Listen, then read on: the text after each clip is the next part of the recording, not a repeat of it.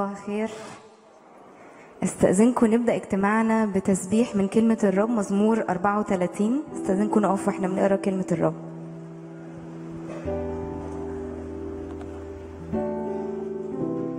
عايزين نقرأ مع بعض بصوت عالي من عدد واحد لعدد عشرة.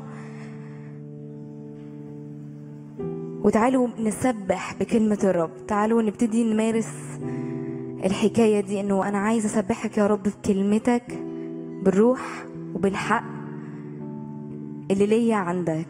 تعالوا نقراه مع بعض. أبارك الرب في كل حين دائما تسبيحه في فمي. بالرب تفتخر نفسي يسمع الودعاء فيفرحون. عظموا الرب معي ولنعلي اسمه معا. طلبت إلى الرب فاستجاب لي. ومن كل مخاوفي أنقذني. نظروا إليه واستناروا ووجوههم لم تخجل.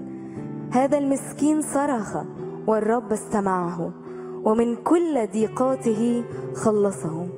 ملاك الرب حال حول خائفي وينجيهم. ذوقوا وانظروا ما أطيب الرب. طوبى للرجل المتوكل عليه. اتقوا الرب يا قديسي لأنه ليس عوز لمتقي الأجبال احتاجت وجاعت وأما فلا يعوزهم.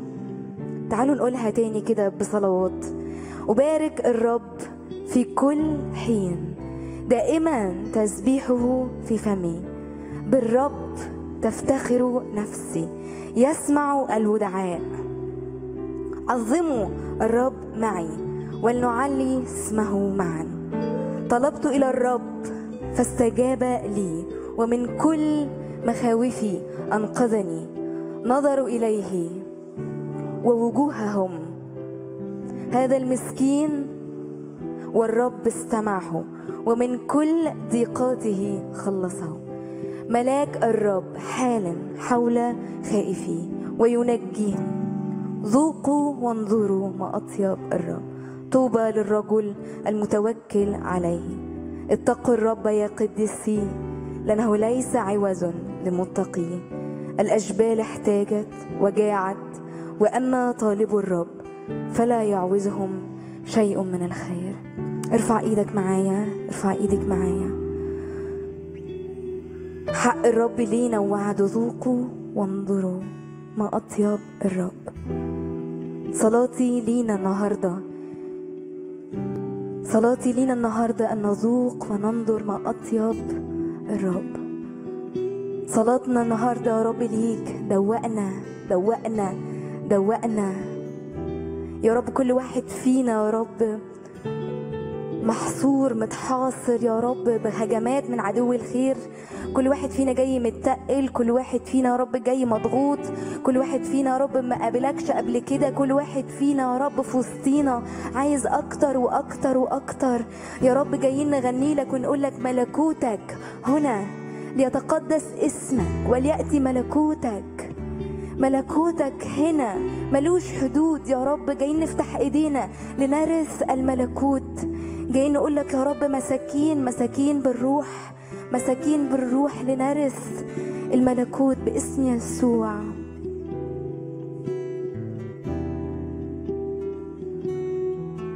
ملكوتك ماله حدود وطريق إبليس مسدود.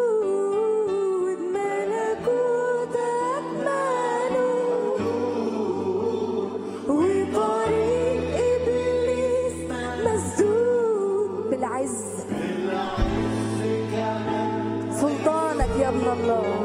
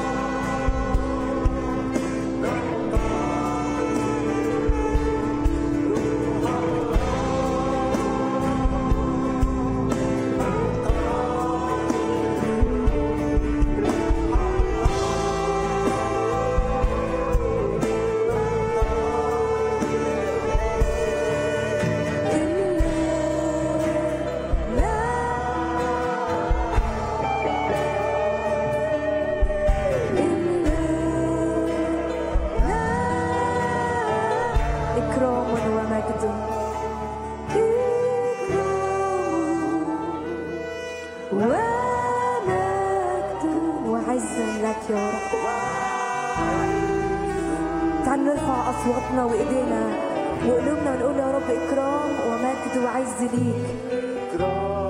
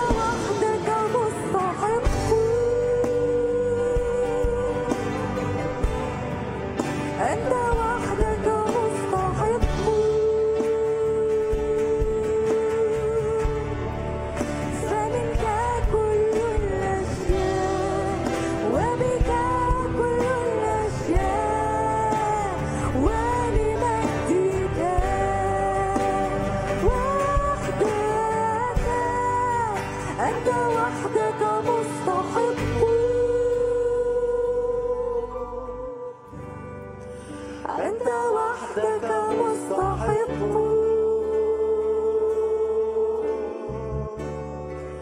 فمنك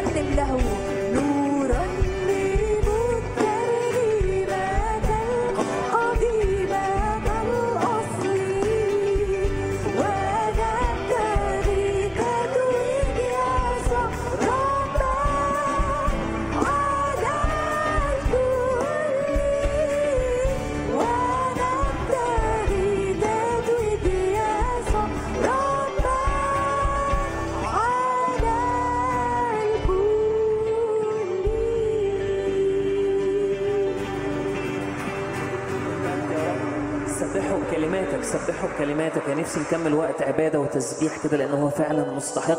سبحوا بكلماتك. هو صالح هو بارع هو رائع هو بار في كل طرقه. هو فعلا مفيش حد زيه في جماله وفي جلاله وفي بهائه. يا رب نشكرك إن أنت وسطينا النهارده. نشكرك إن أنت فعلا قائم في وسطنا ساكن وسط تسبيحات شعبك جالس وسطينا. أشكرك إن أنت راضي عن شعبك. مبارك اسمك مبارك اسمك. ما أبهاك. ما أعظمك ما أبهاك. خلينا نقول له الكلمات دي نأتي لك يا ربنا نأتي لك ونعظمك ونباركك. ما أبهاك؟ أنت العلي أنت القدير. قدوس قدوس قدوس. مبارك اسمك. نأتي لك يا ربنا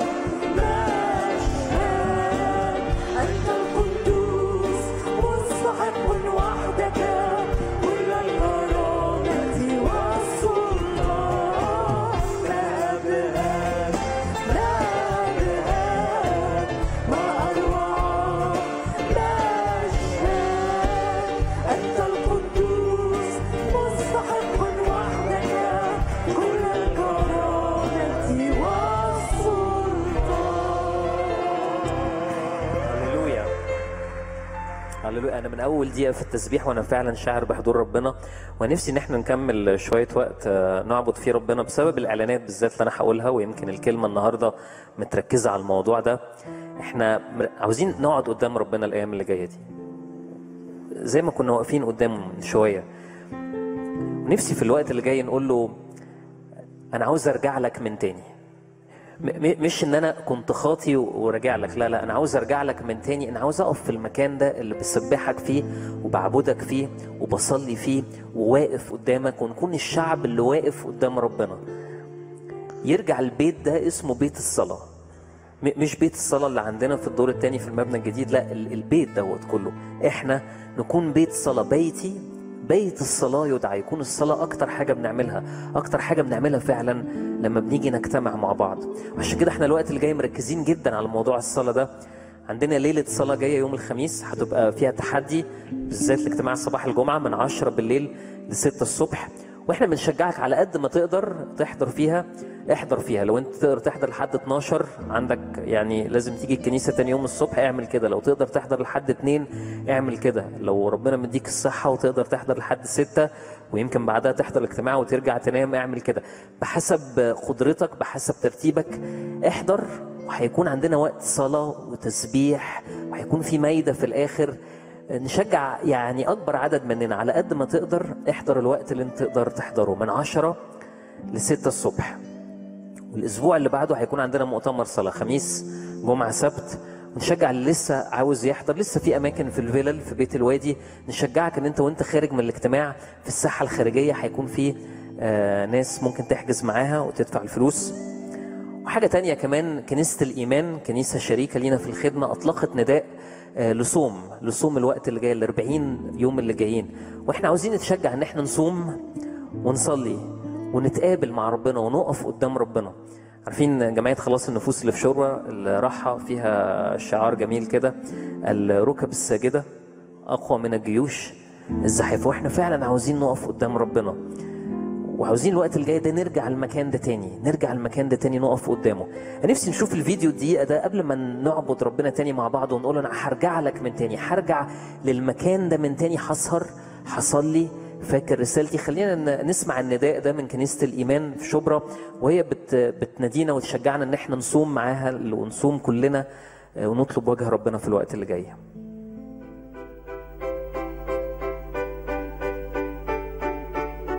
احبائي شعب الرب في كل مكان حول العالم بحييكم في اسم المسيح. احب جدا أدعوكم للماراثون الرائع اللي كل شعب الرب في كل مكان حول العالم هيشتركوا فيه.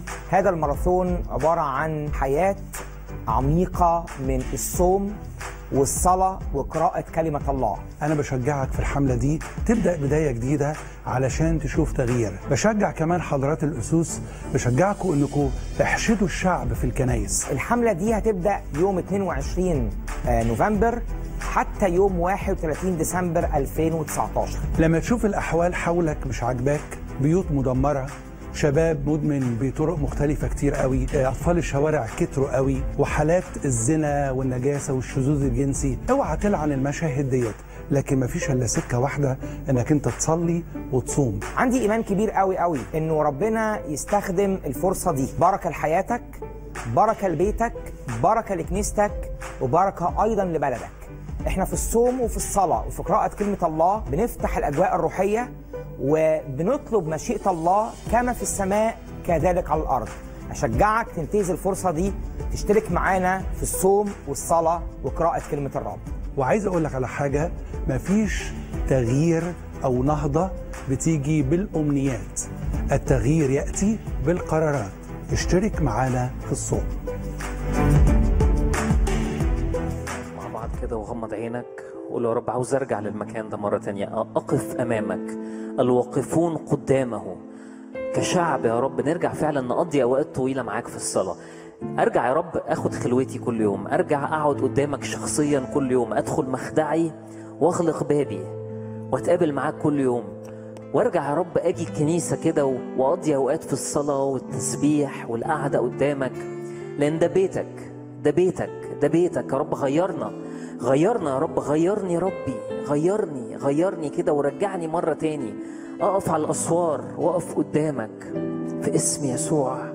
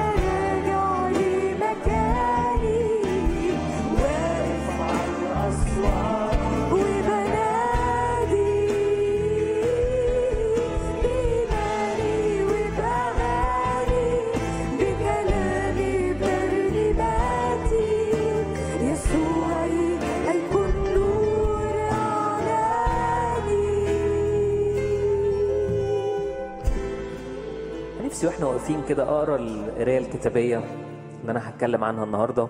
أنا هتكلم عن الصلاة هتكلم عن إيليا. بس عاوز أقراها من حتتين من من يعقوب اصحاح خمسة وعدد 16 بيقول الكلمات دي اعترفوا بعضكم لبعض بالزلات صلوا بعضكم لأجل بعض لكي تشفوا. وبعدين بيقول الكلمات دي طلبة البار تقتدر كثيرا في فعلها. ودي صلاتي لكل واحد فينا إنه طلبتنا تقتدر كثيرا في فعلها. نفسك إن طلبتك تبقى قوية بتغلب الشر وبتغلب إبليس وأجناد الشر الروحية وتهزم جولياط طلبة البار تقتدر كثيرا في فعلها. يمكن وأنت بتسمع الكلمات دي تحس بس أنا مين؟ بس يكمل كده في عدد 17 ويدينا المثل ده اللي أنا هتكلم عنه النهارده. كان إيليا إنسانا تحت الآلام مثلنا. وصلى صلاة أن لا تمطر فلم تمطر على الأرض ثلاث سنين وستة أشهر. ثم صلى أيضا فأعطت السماء مطرا وأخرجت الأرض ثمرها. أيها الإخوة إن ضل أحد بينكم عن الحق هو ده الموضوع. لو في ضلال لو الناس تايهة الحق عنها إن ضل أحد عن الحق ورده أحد فليعلم أن من رد خاطئا عن ضلال طريقه يخلص نفسا من الموت ويستر كثرة من الخطايا. ونفسي أرجع للعهد القديم وأقرأ القصة دي زي ما جت كده في ملوك الأول إصحاح 17 المثل ده اللي الرسول يعقوب اتكلم عنه إنه كان ايليا إنسان تحت الآلام مثلنا بس صلى صلاة. وأنا بصلي النهارده إن ربنا يعلمنا نصلي الصلاة المقتدرة دي. ملوك الأول إصحاح 17 عدد واحد لأول مرة يظهر إيليا في المشهد. وقال إيليا التشبي من مستوطني جلعاد قال لأخاب الملك حي هو الرب إله إسرائيل الذي وقفت أمامه.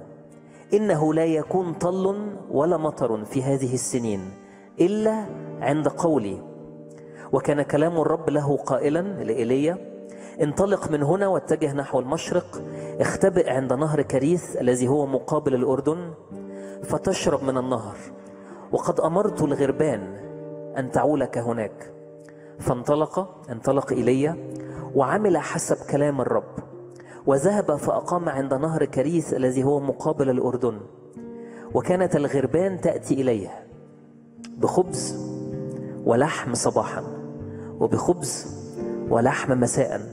وكان يشرب من النهر وكان بعد مدة من الزمان أن النهر يبس لأنه لم يكن مطر في الأرض. وأرى حتة كمان ملوك الأول 18 عدد 36 لما إيليا في الآخر خالص جاب كل أنبياء البعل قدامه وتحداهم التحدي ده الإله اللي هيجيب بنار يبقى هو الإله الحقيقي. وهي دي الخناقة مين هو الإله الحقيقي؟ ناس كتيرة متدينة بس مين هو الإله الحقيقي؟ وبعد ما أنبياء البعل قعدوا يصلوا لأن هم الأغلبية يجي عدد 36 وإيليا بيحضر التقدمة بتاعته.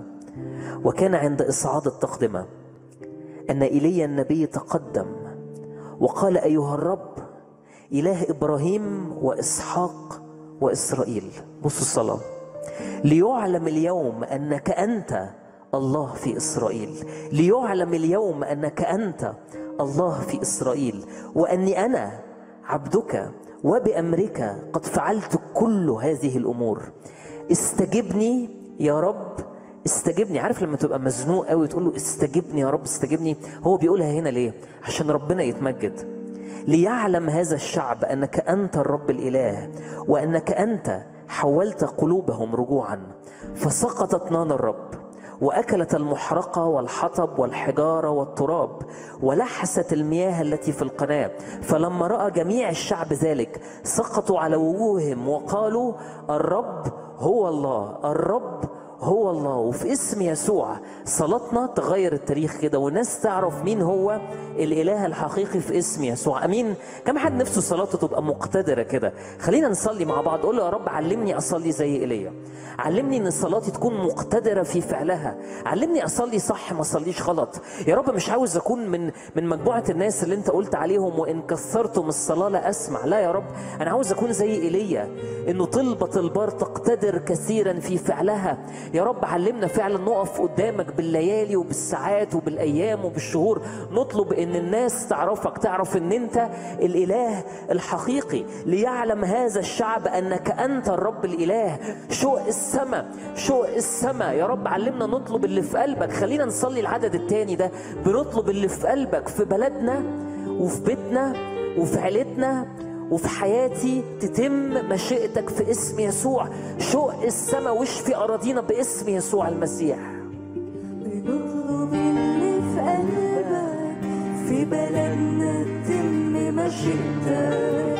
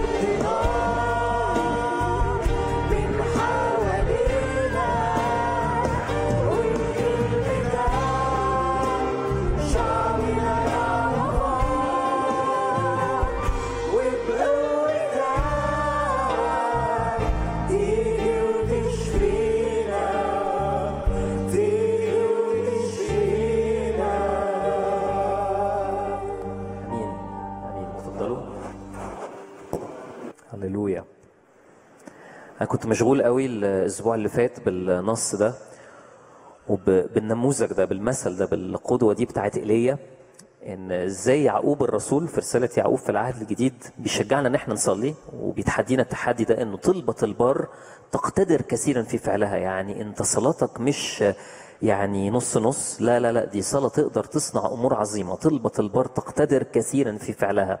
وقام مدينا المثل بصراحة اللي في رأيي غريب قوي. ادانا مثل إيليا.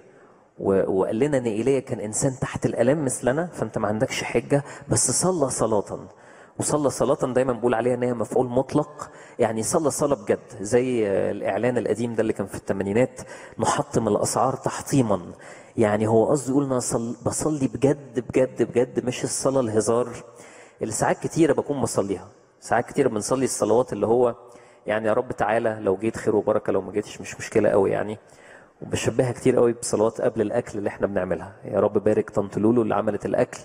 بس يعني انت مش جواك قوي يعني إن هو هتبقى كارثة كبيرة قوي لو ما باركهاش. يعني لو ما باركهاش في الآخر هنعدي حياتنا وهنكمل يومنا و... وعادي. بس الصلاه اللي يعقوب الرسول بيشجعنا ليها مش كده. هي صلاة مقتدرة صلى صلاة أن لا تمطر فلم تمطر السماء. و... وقريت قصة ايليا في ملوك الأول 17 والأسبوع اللي فات فعلا وأنا باخد الخلوة بتاعتي كان ده الترتيب إن أنا أجي عند ملوك 17 و... وابتديت اركز فيها وحسيت ربنا كلمني فيها كذا كلمة شخصية ونفسي أشارككم بال... بالكلام اللي حسيته قوي في النص ده وحاسس إنه الناس كتير فينا. ملخص الموضوع أنت بتصلي إزاي؟ ساعات كتير قوي بنصلي بس بنصلي صلوات مش هي اللي على قلب ربنا فما بنلاقيش أي استجابات. والحاجة التانية اللي واضحة قوي في النص هو مين إلهك؟ ناس كتيرة بتقول إحنا بنعبد الله الواحد. يعني كلنا ما دام أنت بتصلي وما دام أنت مصدق إن في ربنا يبقى ما فيش فرق. يعني كلنا واحد. لا لا لا لا, لا. يعني لا يعني آه، مشكلة كبيرة في الكتاب المقدس إنه يعني على فكرة الكتاب المقدس ما فيهوش ملحدين قوي. يعني هو كل الكتاب المقدس ناس بتعبد آلهة. ده بيعبد البعل وده بيعبد اليم وده بيعبد آلهة في مصر وده بيعبد آلهة في بابل وشعب إسرائيل بيعبد يهوة. وفي الآخر يهوه ده استعلن عن نفسه في يسوع المسيح في العهد الجديد. فهو أنهي واحد فيهم؟ الإله اللي بيحب ولا الإله اللي بيكره؟ الإله اللي بيشفق ولا الإله اللي بيعذب؟ الإله اللي بعيد ولا الإله القريب؟ الإله الرحيم ولا الإله اللي غضبان منك؟ هو أنهي واحد؟ ودي مشكلة كبيرة لأنه لو لو في ناس بتقول على زيزو إن هو قتال قتلة وواحد تاني بيقول على زيزو إن هو بيحب قوي قوي قوي يبقى واضح إن أنتوا الاتنين مش بتتكلموا على نفس الشخص. ودي أزمة كبيرة في الكتاب المقدس ودي كانت أزمة إيليا. وملخص الوعظة النهارده لو سرحت فيها أو ما ركزتش فيها إنه صلي عشان مجد ربنا يستعلن. صلي إنه الناس فعلا تعرف مين هو الإله الحقيقي. ولما بنقول صلي لمصر مش قصدنا يعني برضو ال 100 مليون بس لا صلي لعيلتك لبيتك. أنا عارف إن أنت عندك مشكلة في البيت فصلي لأفراد عيلتك اللي يمكن عاملين أكبر جرح ليك. صلي للناس اللي معاك في الشغل صلي للناس اللي معاك في الشارع اللي يمكن يكونوا أحيانا معذبينك. وأحيانا تكون بتتمنى لهم إن هم يقعوا في مصيبة. مش ده الكتاب المقدس خالص مش ده الكتاب المقدس. يعني فاكر مرة رحت خدمة في كنيسة معينة وقعدت أتكلم عن السماء وقعدت أتكلم عن الرجاء وقعدت أتكلم عن عن قد إيه إنه ربنا قريب قوي. فطلع في الآخر الشخص اللي ختم الاجتماع وقال فعلا أنا متفق جدا مع كل كلمة سمعتها وعاوز أشجعكم قوي. كان في واحد هو بيتكلم كان في واحد معانا في العمارة كان دايما مبهدلني ودايما معذبني. والنهاردة الصبح جات له سكتة قلبية ومات. وناس تقول هللويا. مش ده قلب ربنا؟ مش ده قلب ربنا. لا يصر لا يصر بموت أي شخص. هو مش عاوزك تموت هو مش عاوزك تهلك هو مش عاوزك تخسر هو مش عاوزك إن أنت تتعب هو عاوز إن أنت تلاقي الحياة أتيت لتكون لهم حياة. وهل ده شغلك الشاغل ولا لأ؟ أنا عندي تعليقين أتمنى إن هم يكونوا صغيرين قبل ما أخش في صلب الموضوع ونخلص ونصلي تاني آمين؟ لأن أنا فعلا كان نفسي إن إحنا نطول في الصلاة أكتر من كده. اللي يقرأ فيكم لوك الأول 17 أنا عارف إن في ناس يمكن قرت الحتة دي قبل كده كتير وفي ناس مش معتادة إن هي تقرأ العهد القديم بس القصة دي غريبة شوية. لما لما تشوفها كده بصورة بانورامية على العهد القديم كله تلاقي ده يعني ملخص النقطة الأولانية التعليق الأولاني إنه في زمن أسوأ ملك ربنا يرسل أعظم نبي. حاسين بالتناقض؟ فعلا ده كان زمن أسوأ ملك حقيقي. أخاب. أخاب ده ده مش رأيي الشخصي. إنما مكتوب في ملوك الأول الصح 21 عدد 25 لم يكن كأخاب. الذي باع نفسه لعمل الشر. يعني ما كانش فيه زيه. يعني آه، شهادة الكتاب المقدس في ملوك الأول إصحاح 21 25 بتقول كده شهادة الروح القدس لم يكن كأخاب. يعني ملوك إسرائيل المملكة الشمالية بالذات كان فيهم ملوك كتير وحشين. بصراحة مش كان فيهم ملوك كتير وحشين هم كلهم كانوا وحشين. يعني لم ينجح أحد. في المملكة الجنوبية كان في ملوك كويسين وفي ملوك وحشين. إنما المملكة الشمالية دي 19 ملك كله سقط. بس بصراحة تفوق عليهم كلهم. يعني جلس على القمة لم يكن كأخاب الذي باع نفسه لعمل الشر في عيني الرب الذي أغوته إيزابل امرأته ورجس جدا بذهابه وراء الأصنام حسب كل ما فعل الأموريون السكان اللي سكنوا قبله الذين طردهم الرب من أمام بني إسرائيل. شر رهيب في المنطقة دي. ابتدى بيربعام وعاوز أتك شوية على قصة يربعام لأنها يمكن بت بتكلم حياتنا برضو. يربعام ده هو اللي ابتدى المملكة الشمالية دي بعد وفاة سليمان اللي كان ملك على كل إسرائيل في الجنوب وفي الشمال. وبعدين لأن سليمان ساب الرب خان الرب عبد آلهة وثنية. تخيلوا سليمان في آخر حياته يعبد آلهة وثنية. فالرب قرر إن هو يقسم المملكة. قال له سليمان ولادك هيملكوا بس على السبطين في الجنوب. وربنا راح ليربعام. تخيلوا ربنا يروح ليربعام عن طريق نبي ويوعد يربعام وعد. يقول له أنا هديك عشر أسباط. تخيل ربنا يوعدك وعد. وبعدين الوعد ده يتحقق. ويربعام فعلا يملك على المملكة الشمالية. يعني يربعام ياخد وعد من ربنا ويربعام يشوف تحقيق الوعد ده من ربنا. بس يخاف. ودي أزمتنا كلنا إن إحنا بنخاف. يربعام خاف إن شعبه اللي في المملكة الشمالية دي يوم العيد هيضطروا ينزلوا فين؟ للمملكة الجنوبية في أورشليم. ويربعام خاف إن الناس لما ترجع تنزل العيد في أورشليم يحنوا مرة تانية للمملكة الجنوبية فيعملوا عليه ثورة. فقام عمل إيه؟ عمل عجلين. عمل عجل في الشمال في دان وعمل عجل في أقصى الجنوب في المملكة الشمالية في بيت إيل. وقال لهم الجملة المستفزة قوي دي هوذا الهتك يا إسرائيل الذين أخرجوك من أرض مصر. والناس صدقت ومشيت وراه وبقوا في المملكة الشمالية بيعبدوا العجلين دول بسبب الخوف. ويمكن في حياتك النهارده أنت ربنا وعدك وعود وتشدد معاك وكان معاك والتصق بيك وعندك اختبارات تقولها بس برغم كده بتخاف أحيانا كتير وبتسيب ربنا وبتخونه. والسؤال ليه؟ أي عبادة في حياتك مبنية على الخوف دي مش عبادة حقيقية مش ده الإله الحقيقي. لو أنت بتعبده بسبب إن أنت خايف منه مش ده الإله الحقيقي مش ده يسوع المسيح. لو أنت جيت الكنيسة النهارده أو أنت بتصلي أبانا الذي بالليل لأنك خايف تروح النار مش ده الإله الحقيقي. دي مش علاقة حقيقية. يربعام كان خايف إن الشعب يفرط منه. وكل الملوك كان فيهم كان فيهم ناس نص نص كان فيهم ناس وحشين قوي. كان في واحد اسمه ياهو ده لما تقرأ قصته تحس يا ده انت كويس قوي قضى على عبادة البعل وكان غيران قوي للرب. وتحس لما تقرأ قصته كده تقول إيه ده؟ ده ده شخص مؤمن تقي قوي. وفي الآخر خالص يقول وبعد ما عمل كل ده لم يحد عن خطايا يا ربعام يعني عمل إيه؟ يعني برضه عبد العجلين. يعني بيعبد ربنا وبيحب ربنا وغيران لربنا بس في نفس الوقت عمل إيه؟ بيعبد العجلين. ده جنان شوية آه بس إحنا بنعمل كده كتير. إحنا ساعات كتيرة بنحب ربنا وبنحب حاجات تانية وبنعرج بين الفرقتين. وممكن تحصل قوي إن واحد متجوز واحدة يحب واحدة تانية تحب اتنين. ده مش حب ده زنا. بنعملها في حياتنا في علاقاتنا وبنعملها كمان مع ربنا. بس أخاب ده القمة يعني أخاب ده تفوق على كل الملوك في الشر. لم يكن كأخاب الذي باع نفسه لعمل الشر. أنا كنت أتخيل ربنا يعمل إيه عن المملكة الشمالية دي؟ يسيبها. يرمي طوبتها. يزهق منها ويقرف منها. ويلتصق بمين؟ بالمملكة الجنوبية اللي كان فيها شوية أمل. اللي كان أحيانا يجي ملوك كويسين فيها زي يهوشافاط زي حزقية زي يوشية. كان أحيانا بيجي فيها ملوك كويسين. مش قوي قوي بس أحيانا كانوا بيعملوا فعلا حاجات حلوة. أنا لو مكان ربنا لو أنا بفكر بتفكيري أبعت يعني وتشدد وارسل العظماء لمين؟ للناس الحلوين. بس عارفين أعظم نبي أعظم نبي فعلا في العهد القديم بالذات في سفر الملوك يعني خاصة في سفر الملوك. يعني ما فيش آية بتقول إنه أعظم نبي هو إيليا بس هو النبي اللي لما صلى نزلت نار من السماء. هو النبي اللي في ما ماتش إليشع مات بس إيليا ما ماتش إيليا اختطف في مركبة نارية إلى السماء.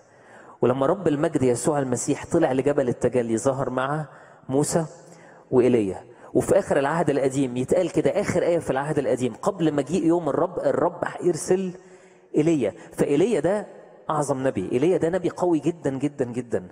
ربنا يختار يعني ربنا في خطته كده إمتى يختار يرسل أعظم نبي ده؟ في أوحش وقت لأوحش ناس. لم يكن كأخاب في كل الشر اللي عمله وربنا يختار في الوقت ده يبعت إليا. وأعتقد دي رسالة لكل واحد فينا.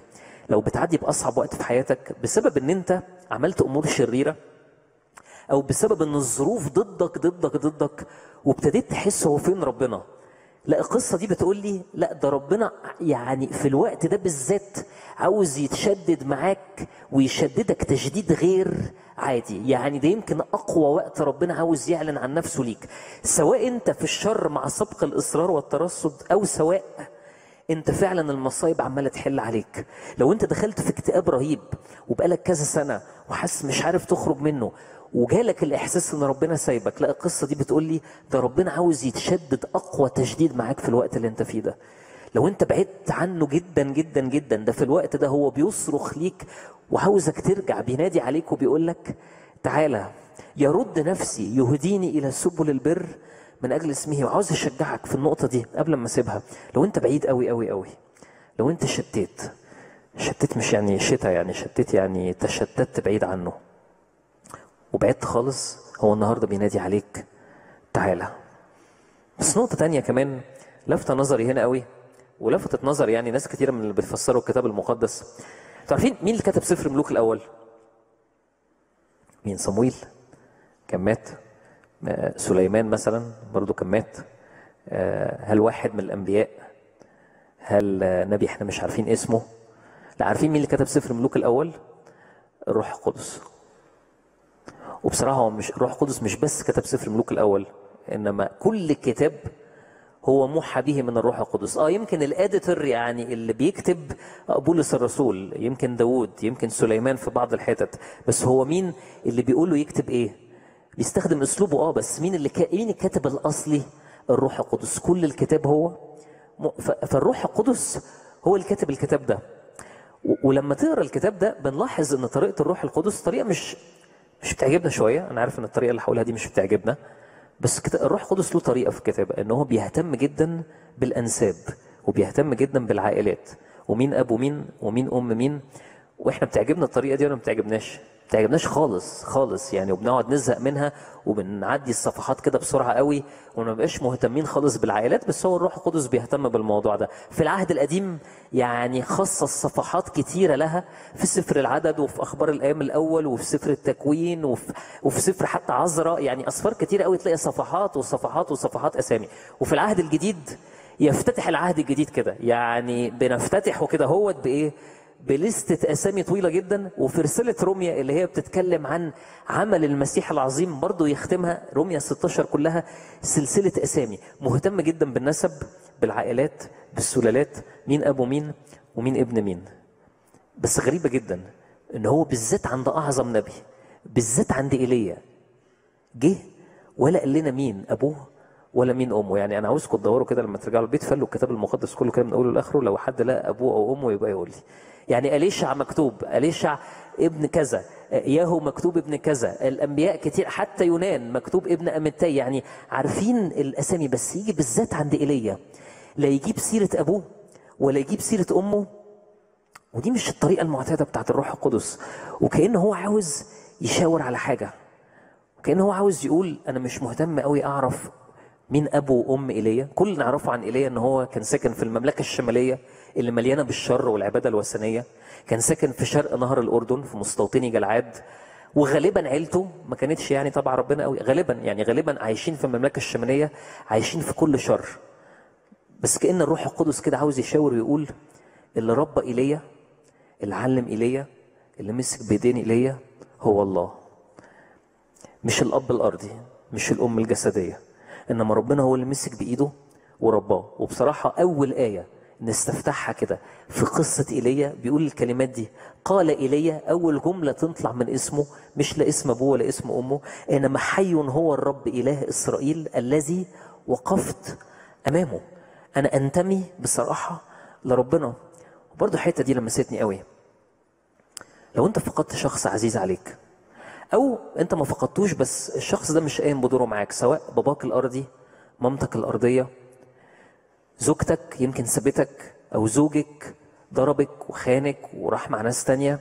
وأنت حاسة بفقد شديد سواء إن واحد مات غالي عليكي أو غالي عليك أو إن شخص سابك وخانك.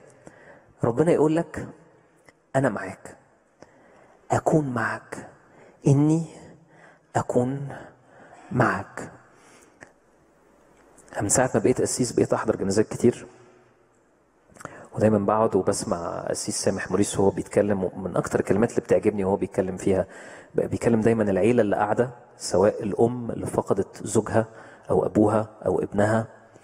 وبيقول الجملة دي بيقول إنه لو فقدتي زوجك أو فقدت باباك ربنا بيوعدك إن هو يتدخل بصورة خاصة جدا ويكون ليك الزوج أو يكون ليك الأب. يكون ليك الأخ اللي أنت فقدته. يكون ليك الابن اللي أنت فقدتيه. يكون ليك الصديق الحميم اللي أنت فقدته. القسيس في آخر الكلمة بتاعت الجنازة يقول بس تقبل كده ولا ما تقبلش؟ تقبل إن لما تفقد شخص عزيز عليك ربنا هو يكون أبوك أو أخوك أو زوجك أو الشخص اللي كان علاقته حميمة جدا بيكي إن أبي وأمي قد تركاني والرب يضمني. وعاوز النهارده أشجع ناس كتير حوالينا سواء فقدت شخص بالجسد أو يمكن أصعب من كده إن الشخص ده خانك وسابك. ده الوقت اللي ربنا بيتدخل فيه بصورة خاصة جدا جدا جدا عشان يلزق فيك. مش دي الطريقة الطبيعية بتاعت ربنا. لا ربنا خلق ال- الحياة دي عشان يكون ليك أب أرضي بيربيك ويكون ليك أم ويكون ليك صديق ويكون ليك أخ. دي, دي الطريقة اللي ربنا خلق بيها الكون دوت. بس لو الطريقة دي حصل فيها خلل هو يوعدك إنه يتدخل بصورة خاصة جدا فوق الطبيعية وفوق المعتادة عشان يلتصق بيك. تحب يكون أبوك زوجك زوجك ولا لأ؟ واشجعك النهارده إنك تقول مع داود إن أبي وأمي قد تركاني والرب يضمني. أنا خلصت النقطتين عاوز أخش بقى في الموضوع بسرعة عشان إيه؟ نصلي فعلا. آه بصراحة يعني أنا لو مكانك وبقرأ رسالة يعقوب أنا استغرب جدا إن لما الرسول يعقوب يشجعني على الصلاة يجيب لي ال example بتاع إيليا ويجيب لي ال example المعقد قوي المثل المعقد قوي بتاع إيه؟ بتاع إن هو قال للسما ما تمطرش. يعني غريبة بصراحة يعني. يعني مش مبلوعة. يعني إحنا ناس كلنا يعني كلنا على قد حالنا. يعني إحنا بالعافية بالعافية. بنصلي لطلبات الصلاة دي. أنا بقول لسان حالنا يعني. طلبات الصلاة في آخر كل اجتماع وبنقول له يا رب إيه استجيب. وعارف إن جواك كده إيه؟ يعني لو ما استجبتش ل 100% من الطلبات 50% مش هتضر. 25% مش هتضر. 1% مش هتضر. وحاسس كده جواك إن أنت على قد حالك. فلما الرسول يعقوب يعني يجيب لك مثل تعقيد زي ده إن واحد بص للسماء وقال لها ما تمطريش اولا مثل تعقيد جدا يعني بيعقدني. وبعدين كأنه كده إيه يعني ضحك عليا وهو بيقول لي إيه على فكرة إيليا كان إنسان تحت الألم مثلنا يعني مالكش حجة بس صلى صلاة أن لا تمطر السماء. فمثل بصراحة تعقيد بس كمان من الناحية التانية هو مثل غريب. يعني يا رب هو أنت عاوزني في الصلاة أقطع المية والنور على الناس؟ يعني يعني هو هو ده المطلوب يعني إن أنا أغلس على الناس إن أنا أبهدل الناس إن أنا وبعدين تحسوا إيليا في الصلاة دي قفش. يعني هو قافش من الشعب قال لهم طب بصوا مفيش مطر بقى اخبطوا راسكم في الحيط عشان تتعلموا الأدب. يعني تحس كده إن دي جملة إيه؟ لحد ما تتعلموا الأدب مفيش مطر مش هتمطر عليكم. وبالذات في الأرض دي يعني بالذات في الأرض دي هيت الأرض دي معتمدة على المطر. يعني في سفر التثنية وهم داخلين أرض الموعد التثنية 11 10 ربنا يقول للشعب كده لأن الأرض التي أنت داخل إليها لكي تمتلكها ليست مثل أرض مين؟ مصر. إحنا عارفين أرض مصر بتعتمد على نهر النيل. مفيش مطر بس في زرع كتير قوي في أرض الدلتا وعلى الوادي بتاع النيل لحد الجنوب. ليه؟ لأن عندنا النهر. وبصراحة النهر ألذ من المطر ولا لأ؟ ألذ بكتير. ليه؟ لأن تحت إيدي. تحت ايدي. آه حتى لو في بلد تانية هتعمل سد ومش عارف إيه بس حلو ان يبقى إيه تحت ايدي أنا متحكم فيه. آه، يعني حتى مزمور واحد يقول لك إيه تكون كشجرة مغروسة هو عاوز يعني يقنعك يقول لك إيه تكون كشجرة مغروسة عند مجاري الماء. يعني الآية كانت هيبقى دمها تقيل قوي لو قال لك إيه تكون كشجرة مغروسة معتمدة على المطر اللي جاي من فوق. يعني هتبقى الشجره كده إيه حالتها صعبة يعني هي وبختها يعني هتمطر ولا مش هتمطر. بس عشان يقول لك القوة يعني يقول لك شجرة مغروسة عند مجاري المياه. شعب إسرائيل لما راح أرض كنعان ما كانش معتمد على أنهار إنما قال له أنت هتعتمد على إيه؟ بل الأرض التي أنتم عابرون إليها لكي تمتلكوها هي أرض جبال وبقاع من مطر السماء تشرب ماء. أرض يعتني بها الرب إلهك. حلوة دي ولا وحشة؟ أنت لما تصحى الصبح في الخلوة وتلاقي آية زي دي آه لما تشوفها تاني يا مينا أرض يعتني بها الرب إلهك أعتقد هتتعزى بس بيني وبينك كده في حياتك دي آية ما تعزيش قوي. لأن كده أنت البركة في حياتك معتمد على إيه؟ عليك ولا معتمد على ربنا؟ ودي حاجة تقلق سنة ولا لأ؟ يعني مش هقول لحد ما تقلقوش بيني وبينكم يعني. انت عاوز دايما البركة تبقى إيه في إيدك. انت عاوز الحساب اللي في البنك تطمن ان هو يكفي السنتين ثلاثة اللي جايين. انت عاوز دايما يكون اللي تحت إيدك انت متحكم فيه. انما حتة ان تقول له خبزنا كفافنا بقى اعطينا اليوم يعني كل يوم هو يديني الحاجة بتاعتي دي مقلقة شوية. وهو دخلهم أرض مقلقة إن هي معتمدة على المطر. وبصراحة المطر ده في إيدين ربنا. يعني من الآخر يعني أنا مش بقول كده لأن أنا مغيب ولا أؤمن بالعلم لا هو فعلا المطر ده في إيدين ربنا. يعني بالذات المطر يعني إحنا العلم تقدم جدا بنقدر نرصد حركات النجوم والكواكب ونقدر نعرف اللي هيحصل كمان 100 سنة يمكن في حركات الكواكب. بس بالذات المطر حتى الآن يعني علماء ال- الأرصاد في أمريكا مش في مصر. بس عشان تطمنوا بس. علماء الأرصاد في أمريكا اللي بيعرفوا فعلا يقولوا إن الدنيا هتمطر بكرة وتغرق الشوارع بجد يعني آه، عملوا حوار في الواشنطن بوست وقالوا مستحيل ده الكلام ده من أسبوع أسبوعين مستحيل تعرف تتنبأ إن في مطرة جاية ولا لأ لأبعد من 8 10 أيام. يعني مستحيل أقول لك في شهر أو في 18 فبراير 2020 الدنيا هتمطر ولا لأ. مستحيل. بيقولوا لأن دي يعني العوامل اللي داخلة فيها معقدة جدا فمحدش فعلا يقدر يعرف. فهي فعلا الموضوع في إيدين تحكم إلهي يعني الموضوع خارج خالص عن أي حسابات.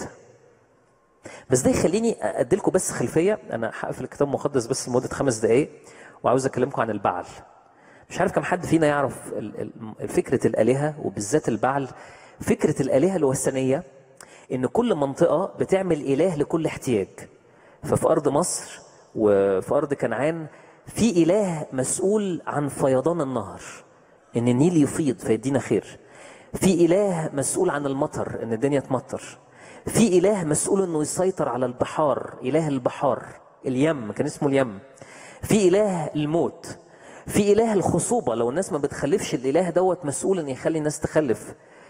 وفي إله لكل احتياج يعني أنا عندي شوية احتياجات في حياتي ما كانش في الآلهة دي في إله يعني قاطع مانع شامل يعني لا هو في إله تخصصات كده. ففي واحد تخصص بتاع المطر في واحد تخصص بتاع النهر في واحد تخصص بتاع المزروعات والأكل في واحد تخصص الشمس في واحد تخصص تخصصات مختلفة.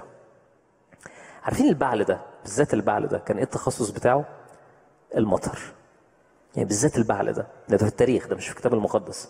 بس في ألواح راس شمرة اللي هي يعني آه مخطوطات أو مش مخطوطات يعني حاجات تاريخية بتكلمنا عن كنعان والعبادة الكنعانية دي.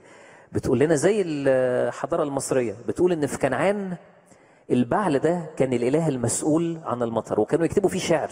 أنا قريت شعر مكتوب على الألواح دي آه، شعر مثلا في البعل يقول إنه البعل ده هو قائد السحب هو معطي البروق من السحب. ويقولوا له كده ارسل مطرك أيها البعل. وإنه البعل دوت بصوا الكلمة اتقال عليه بيحدد المواسم. هو اللي يقول ده الشتاء دلوقتي الصيف دلوقتي الخريف دلوقتي الربيع دلوقتي.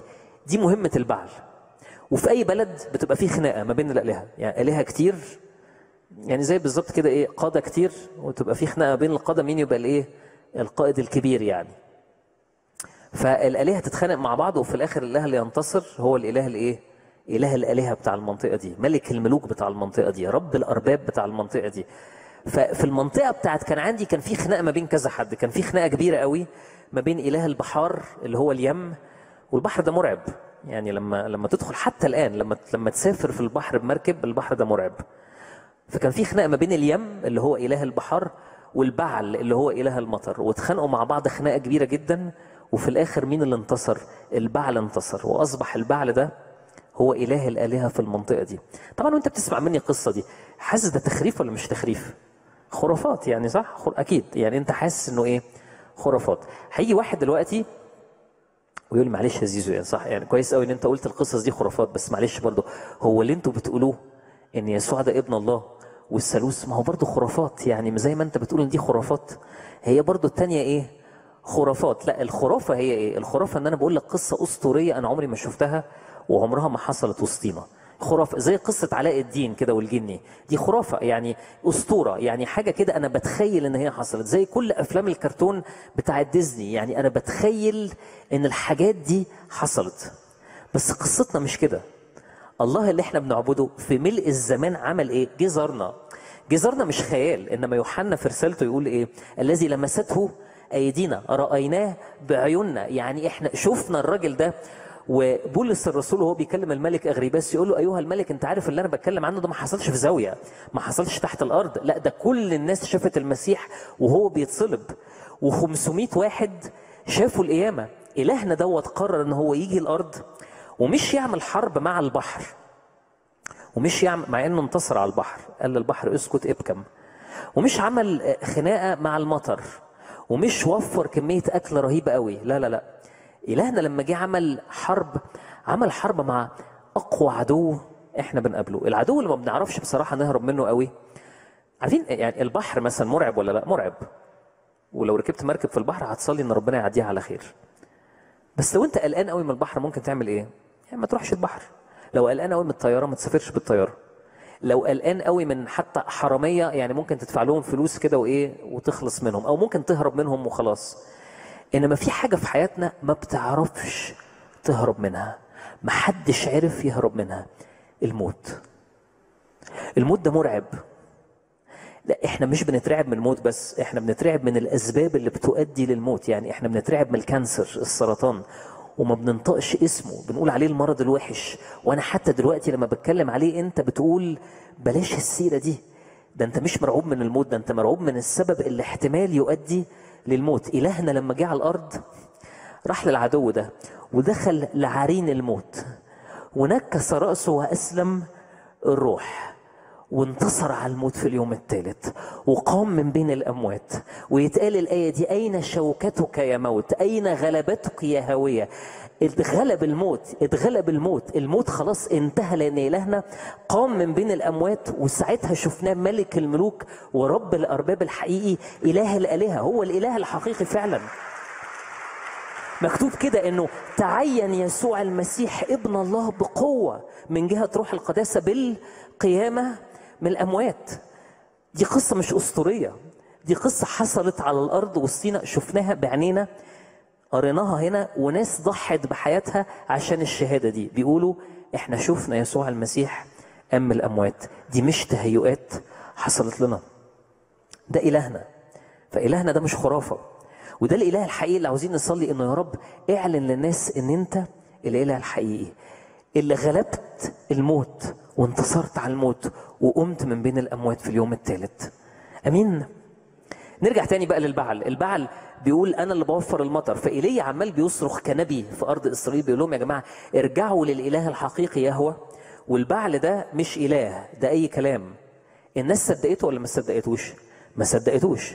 عمال يصرخ بيقول يا جماعة سيبوا عبادة البعل. ما بيسيبوش لدرجة إن إيزابل قتلت كل أنبياء ربنا الإله الحقيقي يهوى قتلتهم. فإيليا قال لهم طب بصوا أنتوا مش مقتنعين خالص إن البعل ده إله مزيف صح؟ طب أنا هعمل لكم دلوقتي تجربة عملية. وده الفرق ما بين إلهنا وأي إله تاني.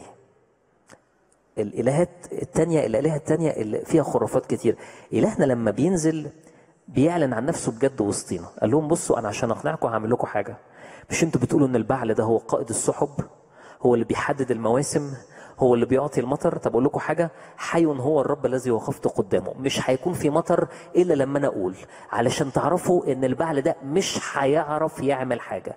وبص اقعدوا صلوا للبعل بقى من هنا لبكرة الصبح. مش هيعرف يدي مطر لأن بصراحة الإله الحقيقي المتحكم في كل شيء هو يهوى إله إسرائيل مش البعل. وفعلا لما إيليا عمل كده السماء ما مطرتش عشان يقول لهم ده الإله الحقيقي. بس ال- القصة اللي أنا عاوز أختم بيها وأختم مش معناها 60 ثانية يعني أختم يعني آخر حاجة يعني بس أنا كنت أتخيل إن أخاب يعمل إيه في الثلاث سنين دول؟ يعني أخاب دخل عبادة البعل اللي هو البعل المفروض بيجيب المطر. كنت أتخيل أخاب يعمل إيه الثلاث سنين دول؟ يقع- يقعد يصلي لمين؟ للبعل. يقول له يا بعل اعلن عن نفسك وادينا الايه المطر. غريبة جدا يقرا القصة دي؟ أنا ما قريتش الآية دي بس يقرا القصة كلها؟ يكتشف إن آخاب كان قاعد الثلاث سنين ونص مش بيصلي للبعل بس عارفين بيدور على مين؟ على إيليا. دي حاجة غريبة جدا يعني حاجة غريبة جدا يا آخاب إن أنت ومراتك بتعبدوا البعل بس أنت جواك جواك كده يعني في قرارة نفسك أنت عارف إن الإله الحقيقي هو مين؟ يهوى إله إيليا. أنت عارف كده كويس. وعمال داير لاخم نفسك الثلاث سنين عمال تدور عليه لأن عارف إن الحل عنده. آخاب ده غريب جدا بقى ليه؟ لأن هو عارف إن ده الإله الحقيقي بس عمره ما كان عاوز يدخل في علاقة شخصية معاه عمره خالص. يعني في مرة حتى تاب توبة كده يمكن مزيفة لأن بعد كده نكتشف إن هو ما تابش. ودي بتحصل لنا. أنت عارف إنه يسوع هو الإله الحقيقي بس أنت مش بتخش معاه في علاقة شخصية. عارفين ليه أخاب ما كانش بيخش معاه في علاقة شخصية؟ لأن دايما كان بيحس إن ربنا ده مقدره. عارفين لفظ مقدره انت مقدرني هو قال كده لإيليا أأنت مكدر إسرائيل؟ وقصده يقول له ربنا بتاعك مقدرنا عشان ما بعتش مطر. هو أخاب عاوز الإله بتاعه يعمل له اللي في مزاجه. وإحنا كتير قوي بنقع في الغلطة دي. مرة مش عارف كم حد فاكر مرة اتكلمت عن الفرق بين العبادة الحقيقية والعبادة المزيفة في شعب إسرائيل لما موسى طلع على الجبل والشعب تحت راح لهارون وقال له إيه؟ قال له اصنع لنا آلهة تسير أمامنا. وآلهة تسير أمامنا اللفظ بتاع تسير أمامنا ده لفظ آه، خطير قوي مش قوي معناه إنه إحنا عاوزين آلهة تقودنا يعني تسير أمامنا تقودنا. لأن طبعا أنت اللي صنعت الإله فمستحيل تكون فاكر إن هو فعلا هيتحرك قدامك ويقودك يعني. بس لفظ تسير أمامي ده كان معروف قوي في سفر التكوين والخروج بالمعنى دوت وفي كل العهد القديم. ربنا ظهر لأبرام في تكوين 17 واحد قال له الكلمات دي سر أمامي وكن كاملا. يعني إيه سر أمامي وكن كاملا؟ يعني لما تكون أب وابنك كده عنده سنتين ثلاثة في السن اللي هو بيبتدي يمشي فيه وبيجننك بقى. يعني يبتدي يهرب منك ويجري وعاوز يعمل بلاوي. فبتقول له إيه؟ امشي قدامي. ما تغيبش عن عيني. أنت قصدك تقول له إيه لما تقول له امشي قدامي؟ يعني لما تروح يمين أو تروح شمال أنا هقول لك ارجع تاني للسكة اللي إحنا ماشيين فيها وانتظر منك إيه؟ إن أنت تسمع كلامي. صح؟ دي معنى جملة إيه؟ امشي قدامي. وده القصد من ربنا لما قال لأبرام إيه؟ سر أمامي. يا أبرام امشي قدامي وكن إيه؟ وكن كاملا. وده القصد في سفر اشعيا اصحاح 30 لما اتقالت إيه؟ وأذناك تسمعان هذه الكلمة. هذه هي الطريق اسلكوا فيها. بس الآية بتقول إيه؟ وأذناك تسمعان كلمة خلفك. يعني وداني سمع كلمة خلفي. بتقول لي إيه الكلمة اللي خلفي دي؟ هذه هي الطريق اسلكوا فيها حينما تميلون إلى اليمين وحينما تميلون إلى اليسار. معنى كده اللي بيبقى واقف ورا ده هو السيد اللي بي- بيدي الأوامر واللي واقف قدام ده هو اللي إيه؟ بيعمل مشيئة الشخص اللي إيه؟ اللي وراه. نرجع تاني بقى شعب إسرائيل. قالوا إيه لهارون؟ اصنع لنا آلهة مش إحنا اللي نسير قدامها. لا لا لا هي اللي تسير إيه؟ أمامنا. يا نهار أبيض! عارفين ده معناه إيه؟ معناه إن إحنا نقول للآلهة دي تعمل إيه؟ والآلهة دي إيه؟ تعمله لنا دي زي بالظبط الجني بتاع علاء الدين. أنا عاوز شخص خارق للطبيعة يقدر يعمل حاجات أنا ما أقدرش أعملها بس هو دايما تحت أمري. هو العبد بتاعي. والجني في فيلم علاء الدين كان هو العبد بتاع علاء الدين. وساعات بنتعامل مع ربنا كده. عارف يبقى محور صلاتك إيه؟ محور الصلاة. أنا عندي المشكلة الفلانية حلها لي عندي المشكلة الفلانية الثانية حلها لي عندي المشكلة الفلانية الثالثه حلها لي. وبتيجي الاجتماع هنا 90% من صلاتك كده. وأحلى فقرة بالنسبة لك هي الفقرة اللي أنت حطيت فيها الورقة بسبب الصلاة. وبتبقى خناقة كبيرة جدا يعني أنا حطيت الورقة ولا ما حطيتش الورقة. و90 95% من صلاتي إن ربنا يعمل لي اللي أنا عاوزه. أوكي اصلي طبعا لاحتياجاتك. لما ما تلاقي الاستجابة دي ما حصلتش بتزعل من ربنا ولا لأ؟ بتزعل منه. عارف ليه بتزعل منه؟ لأن أنت كأنك مدير في شركة وسامحني في اللي هقوله وهو موظف عندك وأنت أمرته أمر والموظف ده بكل جرأة قال لك إيه؟ قال لك لأ. فأنت زعلت إيه؟ منه. واحيانا بتخاصمه واحيانا بتسيبه. سمعتوا عن حد خصم ربنا قبل كده؟ أنا بطلت آخد خلوة وخصمت ربنا ليه؟ أصل أنا بصلي وهو ما بيستجيبش. لا هو مش شغال عندك يعني. أنا آسف بأمانة هو مش شغال عندك حقيقي مش ده إلهنا. آه في خروج في سفر خروج 32 هم كانوا عاوزين آلهة شغالة عندهم. اصنع لنا آلهة تسير أمامنا. بس إحنا إلهنا محب جدا رحيم جدا غلب الموت وقام عشان يقومك معاه ويديك الحياة. بس هو مش شغال عندك. لا لا هو الصلاة الربانية بتقول إيه؟ لتكن مشيئتك أنت يا رب كما في السماء كذلك على الأرض. ولنا هذه الثقة إن طلبنا شيئا بحسب مشيئته مش بحسب مشيئتي تكون لنا واللي أنا في الحتة دي بالذات اللي عاوز أختم بيها واللي هنصلي بيها دلوقتي إيليا صلى لإيه؟ فاكرين إيليا كان إنسان تحت الألم مثلنا صح؟ فاكرين الألم كانت عند إيليا؟ كان عايش في مجاعة مش لاقي أكل ولا شرب لأن وقت مجاعة ما فيهوش مطر. إيليا أحبط في خدمته عمل خدمة وبعدين حس إن ما جابتش ثمر قوي. إيليا كان متهدد بالقتل وكان مظلوم. إيليا كان هو الأقلية عايش وسط أغلبية مش مصدقة في ربنا. إيليا كان تحت الالام مثلنا. بس غريب قوي يعني في الملوك الأول 17 و18 عمره عمره يعني لاحظتوا الحتة دي؟ عمره ما صلى لاحتياجاته. غريب قوي يعني كان اللي شاغل قلبي إيليا اللي مولع قلبي إيليا هو إيه؟ يا رب اعلن عن نفسك يا رب اعلن عن مجدك يا رب قول للناس مين هو الإله الحقيقي. وفاكرين لما الدنيا ما مطرتش والأرض بقت جفاف أنا كنت أتخيل إيليا يبتدي يصلي بقى يقول له إيه؟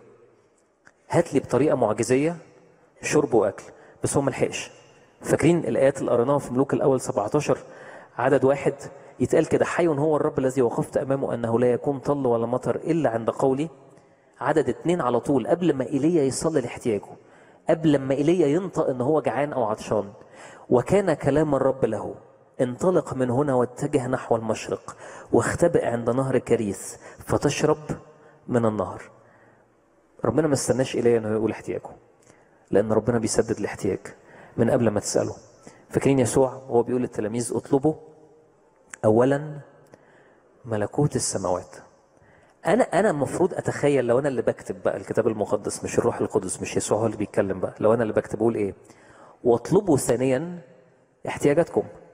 بس هو ما قالش اطلبوا ثانيا. عارفين إيه اللي حصل؟ وهذه كلها تزاد لكم. أنت مش هتلحق. أنت لو مهتم بمجد ربنا لو قلبك مولع إن ربنا فعلا يعرف في عيلتي وفي بلدي لو دي الطلبة اللي على قلبك مش هتلحق تصلي لاحتياجاتك هو هيسدد اللي انت محتاجه هو هيسدد اللي انت فعلا محتاج ليه. من قبل ما تسأل اطلبوا اولا ملكوت السماوات وهذه كلها تزاد لكم. من قبل ما ايليا يصلي وربنا موفر احتياجه. وبعدين موفر احتياجه إزاي؟ فاكرين موفر احتياجه إزاي؟ جاب له غراب بيأكلوا لحمة الصبح. يعني مش عارف في حد بياكل لحمة الصبح؟ أنا ما باكلش لحمة الصبح. يعني الراجل بياكل لحمة على الصبح. وبياكل لحمة بالليل يعني وبياكل لحمة مرتين كل يوم في وقت مجاعة يعني حاجة يعني غريبة جدا يعني يعني في وقت مجاعة والراجل كل يوم بياكل مرتين لحمة مرتين من غير ما بيطلب. طبعا ممكن تقول لي إيه آه أنت بتكلمنا بقى على إنجيل الرخاء والغنى وإن ربنا هيخلينا أغنياء. لا لا مش عاوزك تقلق خالص هو بعدها راح عند ست أرملة قعد ياكل عيش بالزيت لمدة طويلة قوي لحد يعني ما لحد ما الدنيا مطرت. وبالذات الحتة دي مهمة يعني تخيل واحد كده ربنا فجأة سدد احتياجك. عمال تاكل لحمة مرتين في اليوم وفي مجاعة في البلد. يعني بعد الشر بعد الشر هتخيل خيالات كده خرافات يعني. إن فجأة كده بعد 50 سنة الدولار بقى ب 100 جنيه مثلا وحصل مجاعة بقى. بس أنت دولا عن كل الناس بتاكل لحمة مرتين في الشهر. وبعدها بكام يوم ربنا قال لك خلاص الزمن بتاع اللحمة خلص وهتروح هتاكل مش عارف بقى لمدة قد إيه لمدة سنة عيش حاف بالزيت. وبعدين ال- الزيت ده كمان بينزل إزاي؟ الزيت ده بينزل بطريقة يعني صعبة جدا. يعني مش ان في برميل زيت مثلا وعمالين ناخد منه كل شوية نحطه على عيش لا. دهنة زيت يعني يعني اللي هي إيه؟ آخر حتة دي. عارفين عندنا في ال- الشامبو في الحمام لما يخلص وما تشتريش شامبو تاني لمدة شهر ونص عشان مكسل وتقعد تعمل كده والسرسوب ده ينزل هو ده الزيت. ده ده اللي كان فاضل من الزيت. فكل يوم الارمله دي بتاخد حتة عيش ودقيق وتنزل عليه الزيت ولا الدقيق يخلص ولا الزيت يخلص وكل يوم بيبقوا على طراطيف صوابعهم. يعني ربنا بقى هيكمل معانا النهارده ولا لأ؟ ربنا هيكمل معانا النهارده ولا لأ؟ أنا ليه بقول القصة دي؟ لأن غريبة جدا حتى إيليا في الزمن ده ما قالوش يا رب هو فين أيام زمان؟ فين أيام اللحمة بتاعت الصبح؟ بتاعت فين؟ هو أنت إيه؟ أنت ضعفت يا رب ولا لأ؟ خالص. إيليا فضل قلبه مولع بمين؟ بإعلان مجد الرب. والصلاة الختامية اللي أنا ختمت بيها دي. قال له استجبني يا رب استجبني. أنا لما بقعد وسطينا أحيانا كتيرة بسمع الصرخة دي. بدموع. استجبني يا رب استجبني. بدموع. علشان دراعي يخف. علشان ابني ينجح. علشان جوزي يشتغل. كلها طلبات على فكرة شرعية. يعني أنا مش بقلل منها لا إن جوزي يترفد من الشغل إن ما نلاقيش مصدر دخل دي حاجة صعبة مش سهلة. إن دراعي يبقى واجعني وجع شديد ومفيش دكاترة عارفين يشفوني من الوجع دوت ومش عارف أعمل إيه بقالي سنة سنتين ولفيت على دكاترة كتير حاجة مزعجة جدا جدا جدا. بس لو 90% من صلاتي حوالين الحاجات دي الكتاب المقدس بيقول لي هتتعب. إنما لو قلبي مولع بعريسي بزوجي بالمسيح. وبقول له يا رب اعلن عن نفسك اعلن عن نفسك اعلن عن مجدك. صدقني هتلاقي هذه كلها تزاد لكم مش عارف إزاي مش عارف هيدي لك لحمة الصبح وبالليل ولا هيجيب لك حتة عيش. بس عاوز أطمنك سواء حتة عيش بزيت أو لحمة صبح وبالليل أنت هتبقى قاعد في السلام زي إيليا. وهتقول له استجبني يا رب استجبني. ليه؟ عشان شعبي يعرفك. مش عشان احتياجاتي. تسدد. في ترنيمة جميلة كنت بسمعها أول ما جيت للمسيح ونفسي فريق التسبيح لو يطلع دلوقتي ونرنمها. كان بتقول كده إحنا ما دخلناش فترة الصلاة أنا لسه بكمل وعظ أنا بس بطلعهم علشان إيه؟ تطمنوا إن أنا قربت أخلص يعني. بتقول كده يا يسوع يا ابن الله يا واهب الحياة نعلن إنك صاحب السلطان في قلوبنا وفي كل مكان. أنا كنت بسمع الترنيمة دي يمكن قبل ما أجي للمسيح حتى كان في واحد صاحبي مديني الشريط ده وأحيانا كده أسمع آه، شرايط فرق كتيرة قوي آه، مزيكا في العالم وفي وسط كده اشغل شريط فريق الرسالة كمزيكا كده مش كأن أنا بحب ربنا بس أحب اشغلها كمزيكا. كنت أسمع الكلمات دي. كان فيها جملة في النص للي فاكر الترنيمة دي كان بتقول كده اعلن يا يسوع عن مجدك للقلب اللي بيشتاق لك. وأنا كنت بحبها قوي قبل ما أجي للمسيح مش عشان حاجة بس عشان اللحن في الحتة دي بصراحة حلو. يعني حقيقي هو اللحن فيها جميل كده. كنت أحبها قوي أحب أسمعها عشان اللحن يعني. بس فاكر في اليوم اللي جيت فيه للمسيح يوم 10 نوفمبر في اللحظة دي مثل هي الساعة 12 وتلت أو 12 ونص ل 5 لما يسوع أعلن كده جوه أعماقي إن أنا بحبك وأنا قلت له أنا هدي لك حياتي هدي لك قلبي. في اللحظة دي كان بالصدفة الشريط شغال بالصدفة يعني وأنا قاعد في أوضتي. كنت بذاكر ومشغله كده وسط أغاني كتير يعني. وبعد ما قلت ليسوع أنا بسلمك حياتي. لقيت بالظبط الجملة دي طلعت بعدها بكام ثانية. اعلن يا يسوع عن مجدك للقلب اللي بيشتاق لك. وكأن ربنا كده يعني جاب لي هدية. قال لي بص أنا عارف أنت بتحب الحتة دي فجبت لك الهدية دي. بس عمري ما هنسى الترنيمة دي. الترنيمة دي مشغولة مش باحتياجاتي. إنما الترنيمة دي مشغولة من يا رب أنا عاوز مجدك يعلن. وبصراحة مش عاوزك تعملها وانت مضغوط عليك خالص. يعني أرجوك اوعى تحس أبدا بضغط إن إحنا بنقول لك ما تصليش لاحتياجاتك إنما صلي عشان ربنا يعرف في أرض مصر. لا خالص هي مش بالضغط. لو قلبي مولع بحبيبي هبقى نفسي فعلا إن حبيبي ده يعرف أنا فاكر من أسبوع كنت آه، يعني عندي مشكلة مع واحد عمل لنا حاجة في شقتنا عمل لنا خشب كده في الشقة و واتخانقت معاه في التليفون وبعدين هو كمان رد عليا رد بايخ ومراتي كانت قاعدة جنبي في العربية فهي سمعته بيرد الرد البايخ ده عليا. فانا راجل طيب بقى يعني مراتي ما بتسكتش بقى قامت واخدة مني التليفون ودخلت بقى في الراجل ده وقالت له بقى الجملة دي هو انت أنت عارف أنت بتكلم مين؟ أنت عارف جوزي ده يبقى مين؟ جوزي ده كذا كذا كذا كذا كذا كذا وأنت تحترم نفسك وأنت بتتكلم معاه. يعني كانت داخلة بقى فيه إيه؟ بقوة شديدة جدا لأن هي قلبها مولع على إيه؟ على جوزها. عارفين في سفر الأمثال إصحاح 31 المرأة الفاضلة بيقول كده رجلها معروف في الأبواب. لو أنا بحب جوزي ده لو بحب عريسي ده حقيقي 90% من صلاتي هتبقى أنا عاوز الناس تعرفك. أنا عاوز الناس عينيها تتفتح. اعلن يا يسوع عن مجدك للقلب اللي بيشتاق لك. وفي الآخر خالص هتعمل إيه؟ هتصلي لاحتياجاتك. بس عاوز أطمنك صدقني قبل ما هتلحق تصلي لاحتياجاتك هتلاقي ربنا مسددها. هتلاقي ربنا مسددها. آمين؟ تيجي نقف مع بعض كده ونقول له الكلمات دي. يا يسوع يا ابن الله يا واهب الحياة. الكذب كتير حوالينا.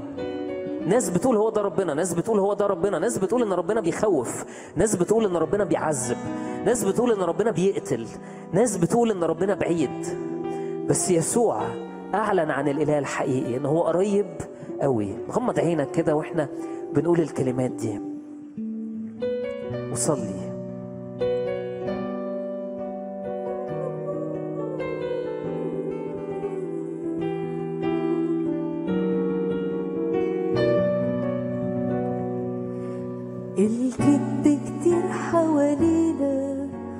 والضلمة تغمى علينا والعالم صوته بيعلى وعايز يربط إيدينا. مهما تيجي الحروب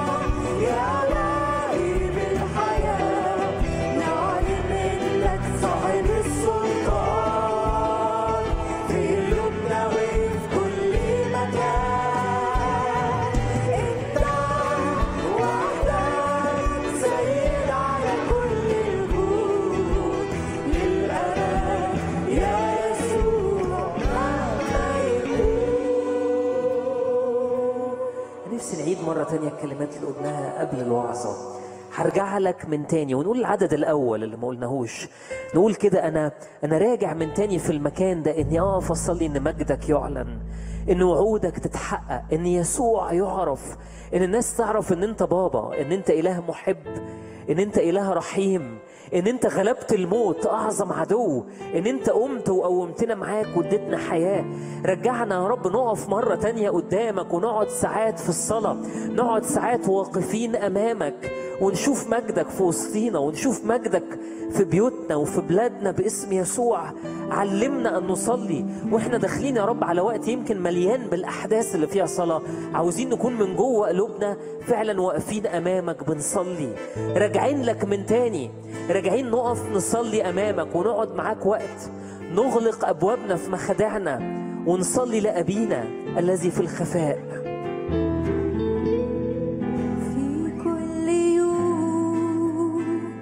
بشوف أمور كلمت قلبي فيها من سنين. فاكر في يوم همسك يقول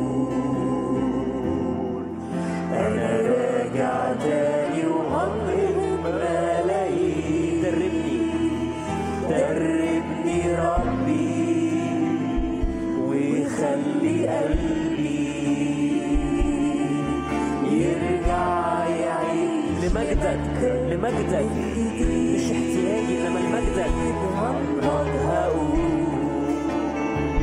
هرجع هتوب هنسى.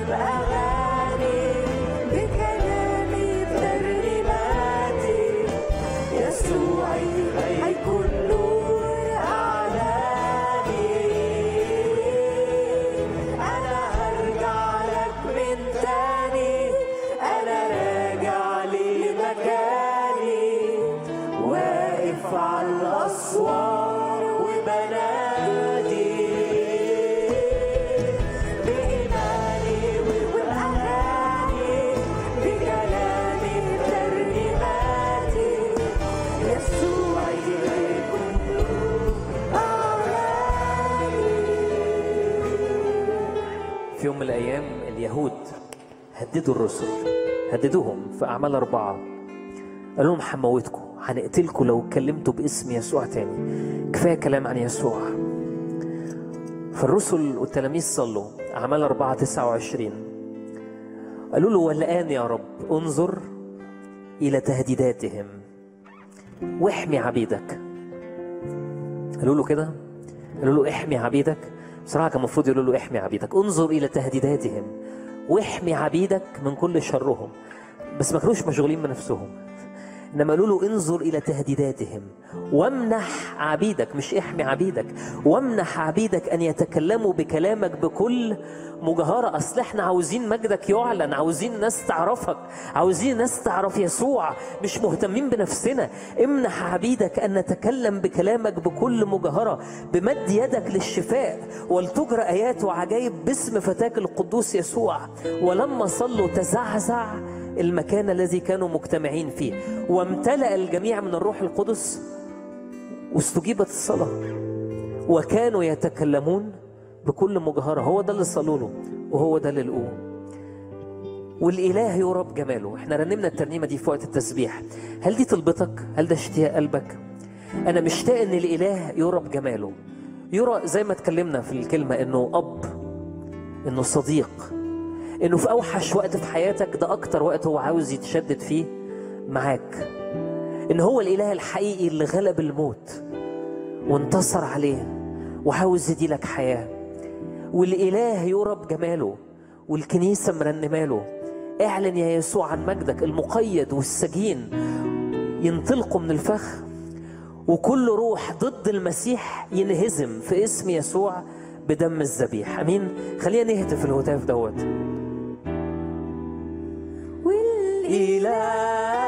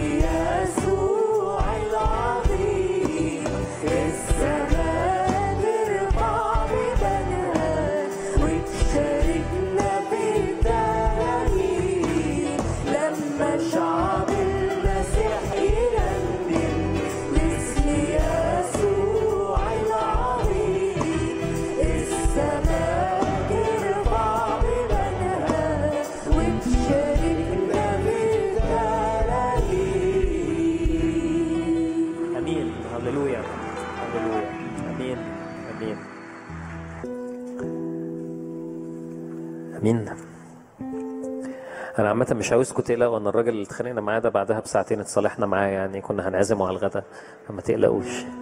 طيب خلينا نقف كده ونصلي للطلبات. دي طلبات مهمة وطلبة البار تقتدر كثيرا في فعلها. ناس متألمة ممكن يكونوا قريبين ليك ممكن تكون أنت شخصيا. يمكن تكون معرفتش تكتب الورقة تحطها في السبت بس ربنا شايف التأوه اللي جواك. تأوه الودعاء يا رب قد سمعت. وهو بيسمع الألم والصرخة ولما جه من ألفين سنة كان بيجي لناس التعبانة والمنحنية وبيشفيهم. وإحنا النهاردة بنصلي يا رب. إنك تمد إيدك على كل شخص تعبان. بيصرخ. بيصرخ من ألام في جسده. أنت تشفيه في اسم يسوع المسيح. ونيجي زي ما التلاميذ صلوا لك كده. مد إيدك بالشفاء. ولتجرى آيات وعجائب باسم فتاك القدوس يسوع. فالناس تخف من ألمها واسمك يعلن في أرضنا. وليعلم كل الشعب إنه أنت هو الإله الحقيقي الذي لا يعثر عليك أمر. يا رب ناس بقالها كتير في دموع وأنين لأنه الدكاترة ما عندهمش حل. بس هللويا لأن أنت عندك للموت مخارج. أنت عندك للمرض شفاء. أنت عندك لعدم الراحة راحة وسلام. يا رب بنصلي من أجل السلام النهارده يملا قلوب ناس كتير. أنا بصلي من أجل كل حد عنده اكتئاب حاد ومش عارف يخرج منه بقاله فترة. يا رب خرجه من سجن الاكتئاب ده في اسم يسوع المسيح. بصلي من أجل كل واحدة وسطينا مش عارفة تنام بالليل بيجي لها أرق ومش عارفة تنام ويمكن شخص وسطينا مش عارف ينام بالليل. يا رب أنت تيجي تديله سلام تيجي تديله سلام سلام سلام وتديه نوم وتشبعه كده بنوم مريح وبنوم مش مزعج في اسم يسوع. ويمكن حتى ناس عندها طلبات بسيطة إنه وأنا نايم بيجي لي كوابيس. يا رب تعالى على أحلامنا بأحلام سماوية في اسم يسوع المسيح. تعالى براحة لشعبك تعالى براحة للناس اللي بتصلي تعالى براحة يا رب للناس اللي بتتفرج علينا في الشاشة دلوقتي. تعالى يا رب بزمن جديد ندخل فيه كلنا. وبنصلي يا رب إن كل نفس بعيدة عنك تستردها مرة تانية. ترد نفسي تهديني إلى سبل البر من أجل اسمك. يا رب أنا بصلي من أجل الموسم اللي جاي في حياتنا في بيوتنا وفي كنيستنا وفي بلدنا يكون موسم مختلف. بنصلي يا رب إن موسم نشوف فيه البر. نشوف فيه القداسة نشوف فيه الفرح الحقيقي نشوف فيه المحبة الحقيقية نشوف فيه إن الشعب بيقف قدامك وبيصلي نشوف فيه إن علاقاتنا مش مكسورة إنما علاقاتنا مشفية نشوف فيه بيوت بترجع لبعض. يا رب بنصلي حتى للمؤتمر اللي في بيت الوادي بتاع Marriage Encounter يا رب تعالى يا رب على العلاقات المكسورة واشفي العلاقات المكسورة ما بين أي زوجين في اسم يسوع. يا رب بنصلي إن أنت تستردنا مرة تانية وإن إحنا لا نفقد الزمن ده. زمن افتقادك لينا. مبارك اسمك. فرحانين بيك يا رب. فرحانين بيك. هللويا. ونيجي نصلي زي ما انت علمتنا. نقول لك أبانا الذي في السماوات ليتقدس اسمك ليأتي ملكوتك لتكن مشيئتك كما في السماء كذلك على الأرض. خبزنا كفافنا أعطنا اليوم. اغفر لنا ذنوبنا كما نغفر نحن أيضا للمذنبين إلينا. ولا تدخلنا في تجربة لكن نجنا من الشرير. بالمسيح يسوع ربنا لأن لك الملك والقوة والمجد. إلى الأبد أمين. ونعمة ربنا يسوع المسيح ومحبة الله الآب وشركة الروح القدس تكون مع جميعكم من الآن وإلى الأبد أمين.